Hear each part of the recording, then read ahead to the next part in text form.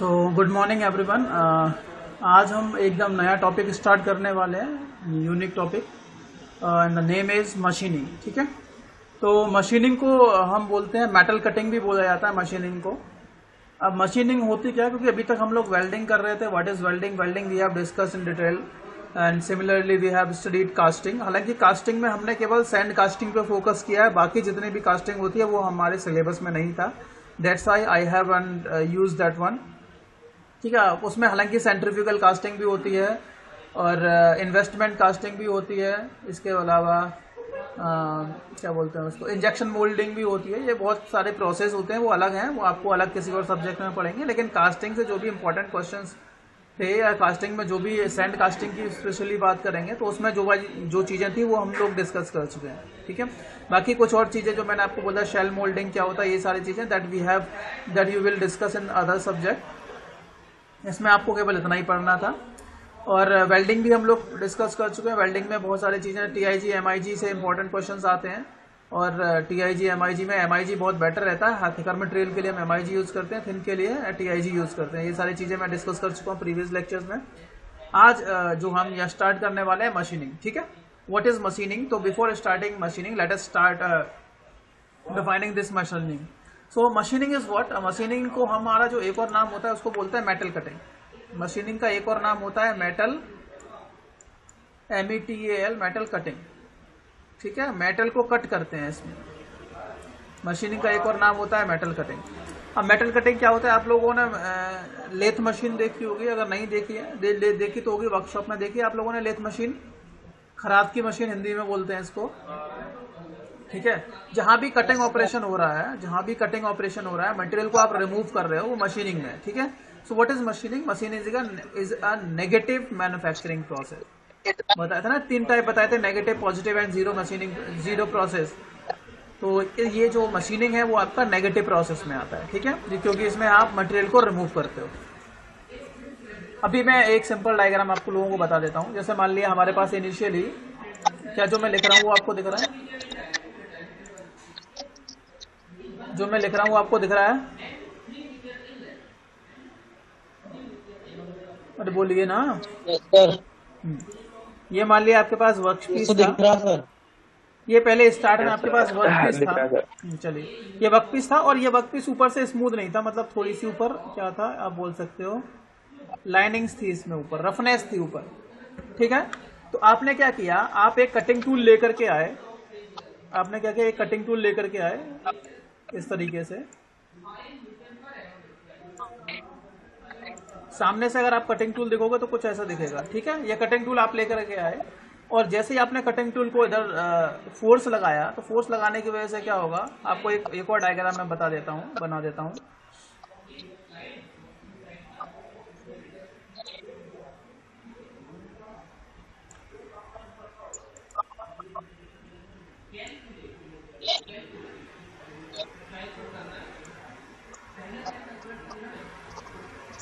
कुछ ऐसा होगा।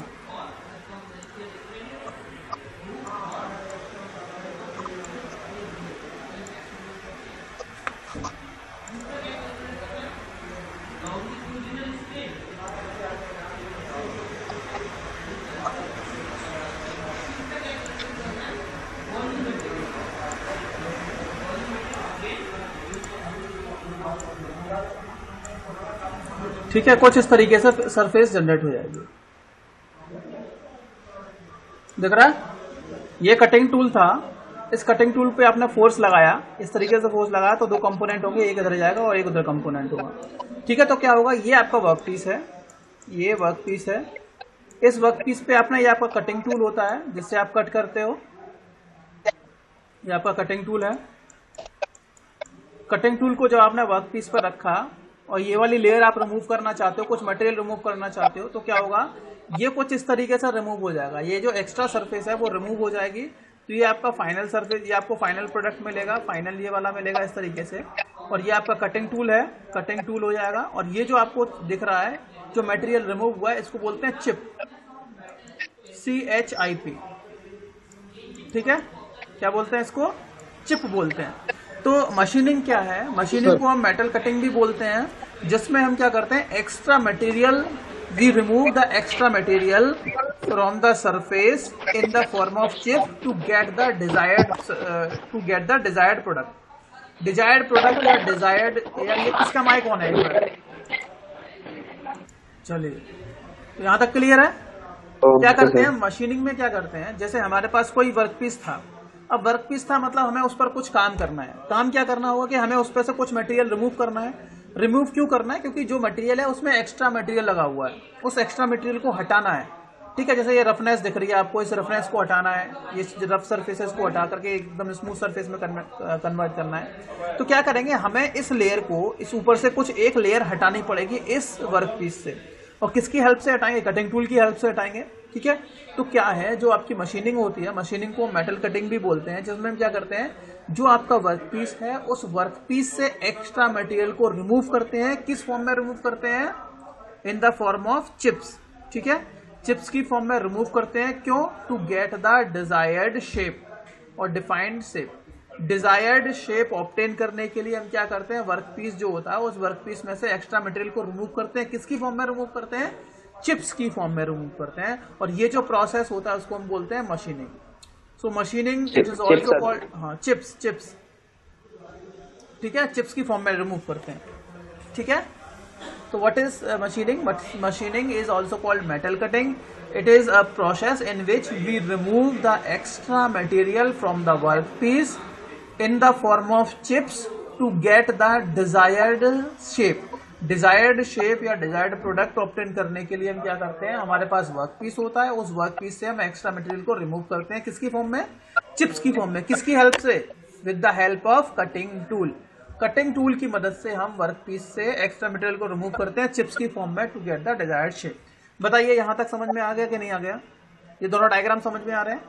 ये रफ सरफेस थी आपने इस रफ सरफेस को हटाया तो आपने कटिंग टूल इसके कांटेक्ट में लेके आए। इस कटिंग टूल को जैसे इसको कांटेक्ट में लेके आए इधर एक फोर्स लगाएँगे तो जिससे क्या होगा ये वाली जो लेयर है ऊपर वाली वो हट जाएगी और चिप्स की फॉर्म में रिमूव हो जाएगी। ठीक है? चलिए जैसे अब मैं आपको एक और सिंपल एक और एग्ज़ाम्पल देता हूँ। जैसे बचपन में हम लोग गुल्ली डंडा खेलते थे। मैं तो खेलता था आप लोग बताइए। हाँ भाई। तो हम खेलते थे हाँ गुल्ली डंडा खेलते थे ना? अब गुल्ली किसमें से बनाते थे? गुल्ली किसमें से बनाते थे? लकड़ी में से? बनाते थे कि नहीं? हाँ। लकड़ी को साइड से छीलते थे कि नहीं छीलते थे? हाँ, तो वो क्या था? व्हाट व्हाट वाज दैट आपके पास ये थी एक लकड़ी। आपने क्या किया? इसको गुल्ली जब बनाना स्टार्ट किया तो यहाँ से मटेरियल को हटाना स्टार्ट किया धीरे धीरे करके धीरे धीरे करके धीरे धीरे करके। इधर से भी हटाना स्टार्ट किया धीरे धीरे करके। फिर इधर से हटा देते धीरे करके और इधर से भी हटा देते थे धीरे करके। तो क्या था, था ये जो शेप थी कुछ इस तरीके से बन जाती थी कि नहीं? हाँ। हाँ सब लकड़ी के बनवाते थे सर। हाँ लकड़ी की बनवाते थे ना ऐसी शेप बन जाती थी। मैंने अच्छा आपने भी खेली है हाँ। तो कुछ ऐसी शेप बन जाती थी। हाँ। है ना? तो ये क्या है?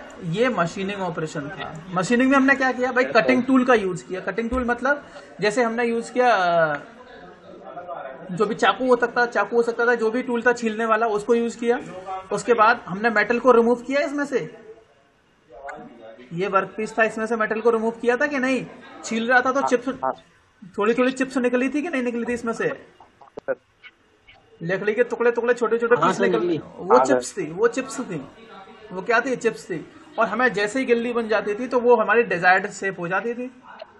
तो ये मशीनिंग ही तो है यही तो मशीनिंग है। तो वो मशीनिंग क्या है? Machining is a operation machining machining is an manufacture negative manufacturing process in which we remove the extra material from the work piece in the form of chips to get the desired shape from from the cutting tool ठीक है to remove the extra material from the work piece किसकी form से to help the with the help of cutting tool तो cutting tool की मदद से, देखो, आपको सुन लो, आपको ये डायग्राम बनाना पड़ेगा इसमें, ये वाला राइट वाला डायग्राम ठीक है? एक तो लेफ़्ट वाला बना लेना बिफोर कटिंग और ये आफ्टर राइट वाला कटिंग तो आपको नाम लिखना है, ये आपका वर्क पीस है, ये आपका कटिंग टूल है, ये वर्क पीस है और ये रफनेस है. इस वाले में क्या करेंगे, ये आपका वर्क पीस है, ये आपकी चिप है, ये आपका कटिंग टूल है, ठीक है? ये डायग्राम आपको बनाना पड़ेगा। मशीनिंग अगर Yes, पूछा जाता है तो ठीक है? मशीनिंग को मेटल कटिंग नहीं बोलते ओके सर ये वाला डायग्राम बना देना है मशीनिंग में। ठीक है? चलिए। मशीनिंग मशीनिंग समझ में आ गया क्या है? तो देखो पहला पॉइंट है it is also called metal cutting कोई दिक्कत नहीं मैंने बता दिया आपको। चाहे एग्ज़ाम में मेटल कटिंग पूछा जाए या मशीनिंग पूछा जाए आपको समझ जाना है कि दोनों का मतलब क्या होता है ठीक है? दूसरा पॉइंट में लिखा it is a negative manufacturing process because इसमें मटेरियल को हम रिमूव कर रहे हैं तो ये क्या है? नेगेटिव मैन्युफैक्चरिंग प्रोसेस है। तीसरा क्या है? It is a metal removal process it is a metal removal process ये मेटल रिमूवल प्रोसेस है इन विच जिसमें हम क्या करते हैं? We remove the extra material हम एक्स्ट्रा मटेरियल को रिमूव करते हैं। भाई मटेरियल अगर एक्स्ट्रा नहीं होगा तो क्यों रिमूव करेंगे? ठीक है? In which we remove the extra material extra material को रिमूव करते हैं कहाँ से? From the work piece work piece से। ठीक है? P I E C work piece से एक्स्ट्रा मटेरियल को रिमूव करते हैं किसकी फॉर्म में? In the form of chips C H I P S chips की फॉर्म में रिमूव करते हैं। किसकी हेल्प से? By using a cutting tool एक कटिंग टूल की हेल्प से, ठीक है? किसकी हेल्प से? कटिंग टूल की हेल्प से। अब कटिंग टूल आपका सिंगल पॉइंट हो सकता है डबल पॉइंट हो सकता है और मल्टी पॉइंट हो सकता है। कटिंग टूल आपका सिंगल पॉइंट हो सकता है मल्टी पॉइंट हो सकता है डबल पॉइंट हो सकता है। ब्रैकेट में ये लिखना है आपको। Bracket close to the cutting tool to get T O to the हटा देना। और गेट लिखना जीई टी गेट मतलब प्राप्त करना। टू गेट और टू गेट भी लिख सकते हो और obtain O B T A I N लिख सकते हो, ठीक है? या तो टू गेट लिख सकते हो और ऑप्टेन लिख सकते हो। O B T A I N ठीक है? ऑप्टेन ऑप्टेन लिख सकते हो या गेट लिख सकते हो। टू ऑप्टेन और to get the desired shape ये डिजाइंड नहीं होगा desired D E S I R E D D E S I R E D ठीक है भाई? समझ में आ गया मेटल कटिंग क्या होता है या मशीनिंग क्या होता है? इट इज़ पहला पॉइंट है कि it also. Called metal cutting it is a negative manufacturing process और फिर लिखा it is a material removal process in which we remove the extra material from the workpiece uh, in the form of chips by using a cutting tool. Cutting tool हो सकता है आपका single point हो सकता है multi point हो सकता है bracket close to get the desired shape desired shape obtain करने के लिए हम वर्क पीस में से एक्स्ट्रा मटेरियल को रिमूव करते हैं चिप्स की फॉर्म में किसकी मदद से? कटिंग टूल की मदद से। ठीक है भाई? इज़ इट क्लियर बस यही लिखना है। मेटल कटिंग या मशीनिंग आपसे पूछा जाएगा, ये डेफिनेशन लिखनी है। और और क्या करना है? वो डायग्राम जो मैंने आपको बताया था, वो डायग्राम बनाना है। ठीक है? यहाँ तक कोई डाउट किसी को? दो। चलिए नो है? सर सर दोनों डायग्राम ना सर हाँ दोनों बना देना। पहले और बाद में। बाद वाला ज़रूर बनाना है पहले वाला बनाओ बनाओ बनाओ। अब दोनों बना दोगे तो समझ में आ जाएगा। तो ये डेफिनेशन आपको याद रखनी है बार बार लिखनी है। ठीक है? चलिए अब ये मशीनिंग हाँ, आपको आइडिया हो गया। अब हम स्टार्ट करते हैं मशीन टूल देखो अ, मैंने अभी आपसे बोला था कि सिंगल पॉइंट कटिंग टूल होता है मल्टी पॉइंट कटिंग टूल होता है टू पॉइंट कटिंग टूल होता है। ठीक है? तो ये डिपेंड करता है कि उस कटिंग टूल में कितनी कटिंग एजेस हैं। ठीक है? ये सिंगल पॉइंट मल्टी पॉइंट लिखा है ना? ये डिपेंड करता है कि कितनी कटिंग एजेस हैं उस टूल में। काटने के लिए कितनी एजेस हैं, उनके बेसिस पे हमने इसको डिफाइन किया है। कटिंग एज कितनी है? ई डी जी एस ठीक है? कितनी कटिंग एजेस हैं? जैसे घरों में चाकू होते हैं, चाकू? अरे काटने के लिए सब्ज़ी काटते हो? हाँ सर। चाकू होते हैं घर पे? नाइफ। हाँ नाइफ होता है। तो उसमें कितनी कटिंग एज कितनी कटिंग एज होती है बताओ काटने के लिए? एक तो मतलब सर छीलते हैं सर साफ़ करते हैं कुछ उसकी बात नहीं कर रहा काटते मैंने मैंने छीलने की तो बात ही नहीं की भैया। काटने की बात की है ना मैंने? सर चाकू में। हाँ। चाकू में तो सर बहुत कुछ है। चाकू की बात कर रहे हैं हम।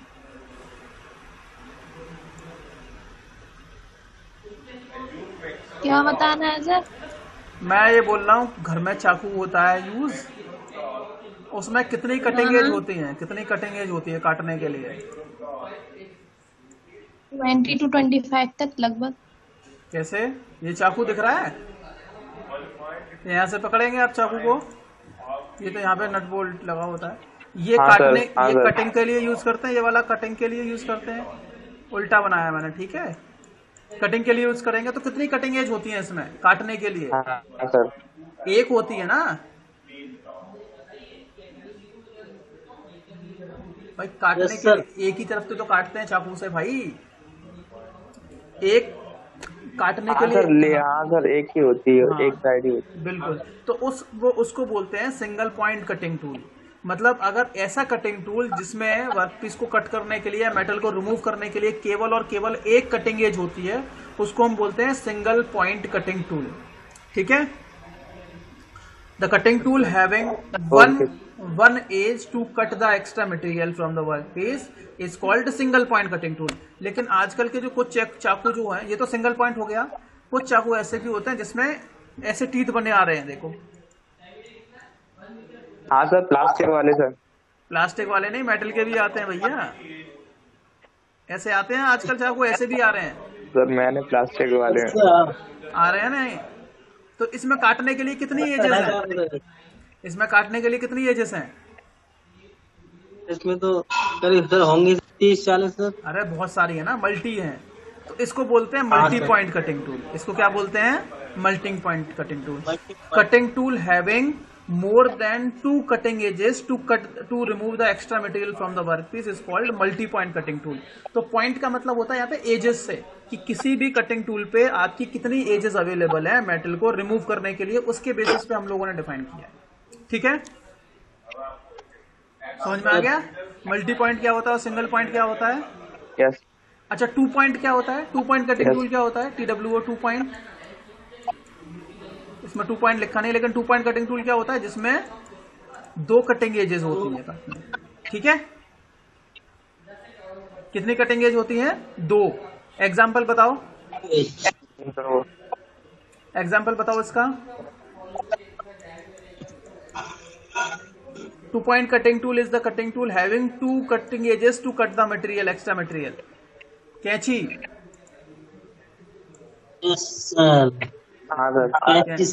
कैंची होती है उसमें दो एजेस होती है काटने के लिए।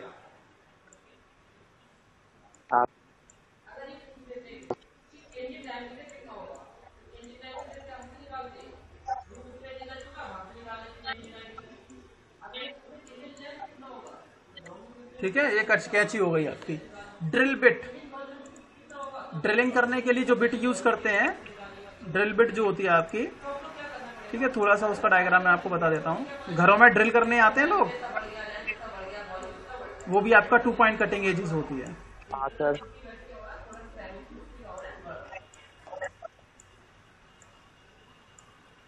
कुछ याद आ रहा है? ऐसी ड्रिल बिट कहीं देखी है? हाँ। ऐसी बिट कहीं देखी है कि नहीं? तो एक ये वाली एज हो गई और एक ये वाली एज हो गई। इसमें दो हाँ, कटिंग एज होती है ठीक है? तो ड्रिल बिट आपका टू पॉइंट कटिंग टूल है। इज़ इट क्लियर तो multi point multi point two point और सिंगल पॉइंट कटिंग टूल समझ में आ गया क्या होता है? चलिए। अब हाँ अब कभी कभी डिफरेंस पूछा जाता है what is difference between machine tool and cutting tool machine tool और एक पूछा जाता है कटिंग टूल कटिंग टूल इन दोनों के बीच में डिफरेंस है। देखना और बताना मुझे, ठीक है? अच्छा जो लेथ वर्कशॉप में रखी रहती है लेथ मशीन हो गई तो ये मशीन है या मशीन टूल है? लेथ इज़ मशीन और मशीन टूल ये आपको बताना है, ठीक है? हम बोलते लेथ मशीन है, लेकिन वो होता मशीन टूल है तो आपको ये आइडेंटिफाई करना है कि मशीन टूल और मशीन में डिफरेंस क्या है, ठीक है? देखो, ये जो डायग्राम बना हुआ है, ये डायग्राम सही नहीं है, ठीक है? इसमें थोड़ी सी गलतियाँ हैं। ये लेथ मशीन का डायग्राम है block block diagram of lathe ठीक है, अब आपको लेथ मशीन के बारे में पूरा उसका कंस्ट्रक्शन क्या है वर्किंग क्या है, ठीक है, वो पूरा लिखना है।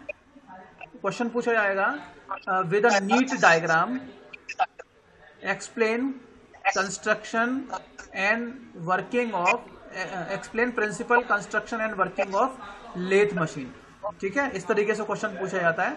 तो लेथ क्या होती है, पहले तो आपको यह बताना है, फिर उसका प्रिंसिपल क्या होता है, और फिर उसकी वर्किंग किस तरीके से काम करती है, ठीक है? लेथ मशीन बताने से पहले इसका डायग्राम देखिए आप लोग। ये वाला डायग्राम है। दिख रहा है कि नहीं? बताओ डायग्राम दिख रहा है? हाँ सर हाँ अब देखो Yes, ये sir. मतलब टू टू डी डायग्राम है मतलब सिंपल बनाया गया इसमें थोड़ी सी गलतियाँ हैं। गलतियाँ ये है कि इसको थोड़ा बड़ा बनाना है जिससे कि यहाँ तक पहुँच जाए। ठीक है? या तो आप इसको इतना थोड़ा सा मटेरियल इसमें से रिमूव कर देना इतना। इसको ज़्यादा ऊँचा नहीं करना है, इतना इतना हटा देना, नीचे कर देना तो इतना मटेरियल हटके ये वाला नीचे शिफ्ट हो जाएगा। ये कहाँ शिफ्ट हो जाएगा? थोड़ा नीचे शिफ्ट हो जाएगा, ठीक है? या इसको थोड़ा सा ऊपर उठा देना, कोई दिक्कत नहीं है, ना? ठीक है? ये थोड़ा सा साइज़ के मैटर नहीं है, बस दिखने में लगना चाहिए कि हाँ क्या है, क्या नहीं है। ये लेग थोड़ी बड़ी बनेगी इसकी, और कुछ नहीं है। बाकी डायग्राम कुछ इस तरीके से बनना है। टू डायग्राम है, आपको लाइन डायग्राम शो करना है। देखो लेथ मशीन का डायग्राम थोड़ा सा माइंड में आपको आना चाहिए। ये हेड स्ट्रोक है लेफ़्ट साइड में ये आपका हेड स्ट्रोक होता है। याद रखना, इनकी पोजीशन याद रखनी है, पूछा जाता है एग्ज़ाम में। ये हेड स्ट्रोक होता है लेफ़्ट में लेफ़्ट में माउंट किया जाता है, ये आपका टेल स्ट्रोक होता है, ठीक है? ये टेल स्ट्रोक होता है, ये हेड स्ट्रोक होता है। ये आपका स्पिंडल होता है, क्या होता है ये? बीच में spindle S P I N D L E ठीक है? और उस स्पिंडल पर आपका क्या माउंट होता है? चक। क्या माउंट होता है? चक। ठीक है? ये टू डी डायग्राम है इसका रियल डायग्राम नहीं है ये एक्चुअल डायग्राम नहीं है पास्ट टाइम कंस्ट्रक्शन बता रहा हूँ। ठीक है? ये लाइन डायग्राम में आपको ऐसा बनाना है वैसे नहीं आप बता पाओगे ठीक है? चक हो गया। चक में क्या करते हैं वर्क पीस को होल्ड करते हैं। वर्क पीस को हम यहाँ लगा देते हैं ये चक होता है। और ये पॉइंट जो आप देख रहे हो इसके सेंटर में इसको बोलते हैं लाइव सेंटर क्या बोलते हैं? Live centre. क्यों बोलते हैं? क्योंकि यहाँ पर हाँ, यहाँ मोटर वगैरह लगी होती है रखी होती है। सॉरी इसके पीछे रखी होती है नीचे नहीं रखी होती इसके पीछे रखी होती है मोटर। और उस मोटर से क्या होता है ये चक घूमता है ये चक इस तरीके से घूमता है। इसमें हम वर्क पीस को यहाँ पकड़ लेते हैं। यहाँ वर्क पीस को पकड़ लेते हैं इस तरीके से। ठीक है होल्ड कर लेते हैं। अब चक आपका टू जा चक आ, मतलब थ्री जा चक होता है फोर जा चक होता है। थ्री जो सर फोरजा और फोर जा चक ठीक है? जॉज मतलब उसके कितने वो है पकड़ने के लिए। थ्री जा चक होता है, वो सेल्फ सेंटरिंग होता है। कैसा होता है?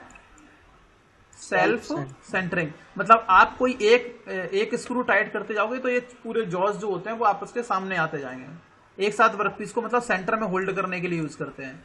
और फोर चक होता है आपको सेंटर के अलावा कहीं और पकड़ने के लिए वर्कपीस को यूज़ किया जाता है। ठीक है? चलिए। चक समझ में आ गया? चक में क्या होता है? इसके बाद लेफ़्ट साइड में ये हेड स्ट्रोक हो गया। हेड स्ट्रोक में मतलब मैकेनिज्म जो होती है मोटर वगैरह ये सारी चीज़ें माउंट होती हैं। चक हमारा यहाँ से चलता है। राइट साइड में आपका टेल स्ट्रोक होता है। टेल स्ट्रोक ये डेड सेंटर है। डेड सेंटर मतलब हमेशा घूमता नहीं है। ये कभी कभी स्पेशल पर्पज में ही काम किया जाता है। जनरली ये होल्ड करने के लिए यूज़ करते हैं। जब आप, वर्क पीस काफ़ी बड़ा होता है उसके लिए पकड़ने के लिए सर बड़ी सॉफ्ट वाला हाँ सॉफ्ट हो गया। ड्रिलिंग करने के लिए यूज़ करते हैं इसको, बोरिंग करने के लिए यूज़ कर लेते हैं इसको। ये आपका हैंडल होता है जिससे इसको घुमाते हैं और ये आपका डेड सेंटर होता है, ठीक है? ये आपका टेल स्ट्रोक होता है। ये लेग्स हो गई, जिसके ऊपर आप पूरी मशीन आपकी माउंट होती है और ये बीच वाला जो देख रहे हो, ये बैड होता है। क्या होता है? Bed B E D bed. ये बैड होता है, जिसमें आपकी एक बैड पे बाकी सारे कंपोनेंट, हेड स्टोक हो गया, टेल स्टोक हो गया, ये माउंट होते हैं। और बाकी इसमें मैकेनिज्म जैसे आपकी हाफ़ नट होता है हाफ़ नट हाफ़ नट इसमें यूज़ किया जाता है याद रखना हाफ़ नट ठीक है? ऑटोमेटिक फ़ीड के लिए यूज़ किया जाता है इसमें ऑटोमेटिक फ़ीड यस सर हाँ क्वेश्चन पूछा गया हाफ़ नट होता है है हाँ हाफ़ नट होता है उस हाफ़ नट को अटैच कर देते हैं तो आपका ये जो एप्रोन होता है वो लेफ़्ट साइड में राइट साइड में ऑटोमेटिकली मूव करता है ठीक है? ऑटोमेटिकली मूव करता है। अच्छा ये जो पूरी डिवाइस होती है ये पूरा अरेंजमेंट जो होता है ये सारे कंपोनेंट को कंबाइन करके बोलते हैं इसको बोलते हैं कैरेज क्या बोलते हैं? Carriage C A double R I A G carriage में ये क्या क्या कंपोनेंट होता है? एप्रोन होता है क्रॉस स्लाइड होता है कंपाउंड रेस्ट होता है और टूल पोस्ट होता है। टूल पोस्ट क्रॉस के भी नीचे कंपाउंड रेस्ट कंपाउंड रेस्ट के बाद क्रॉस स्लाइड और ये होता है एप्रोन ठीक है?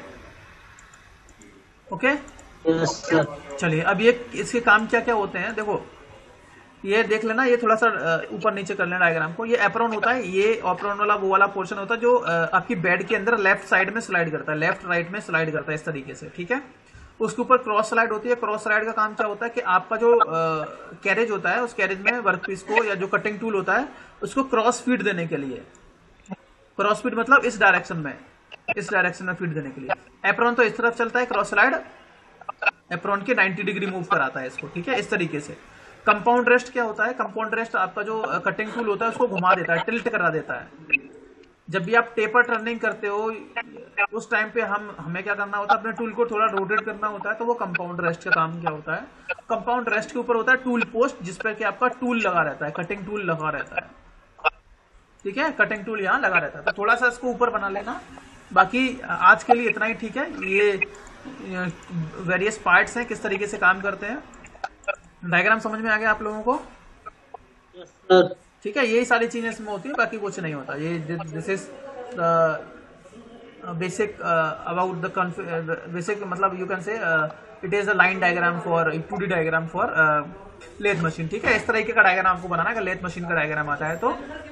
ठीक है चलिए फिर आज का सेशन यहीं फिनिश कर देते हैं। Sir okay